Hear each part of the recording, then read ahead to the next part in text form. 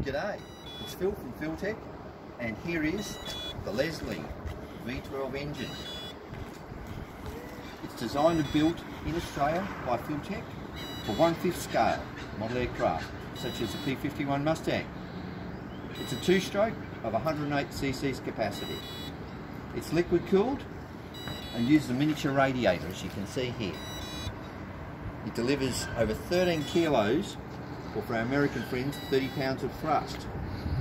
It features a reduction gearbox, you can see up the front. This gives you the torque to spin up scale propellers like this 24 inch four blader. The glow plugs are hidden under the decorative rocket covers and are powered by an electronic glow module back here. It's normally aspirated via the six carburetors seen here. The fuel is mixture controlled via your radio controls and the fuel is fed via this fuel line and pressurised by an electric fuel pump here. Starting is easy with its own electric starter mounted underneath.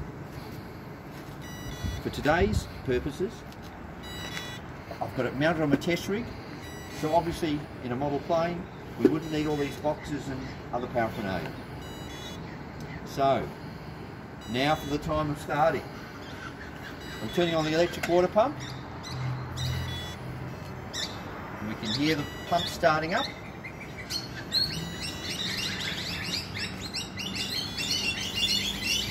And you can see even see the water surging through the lines.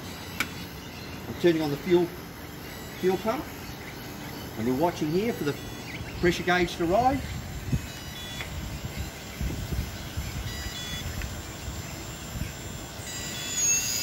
We have now got we're now stabilising on 20 kilopascals of fuel pressure.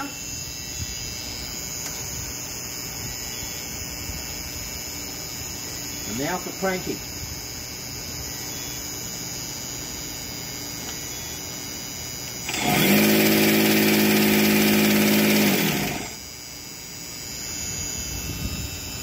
Turning on the glow controller.